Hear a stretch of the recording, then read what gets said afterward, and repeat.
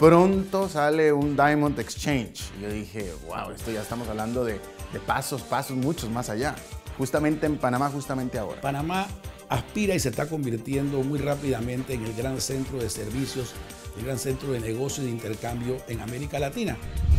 Leyendo acerca de este proyecto, yo entiendo cómo Panamá puede ser preferido para el intercambio comercial de contenedores, incluso de granel, no sé, incluso de, de productos petroleros.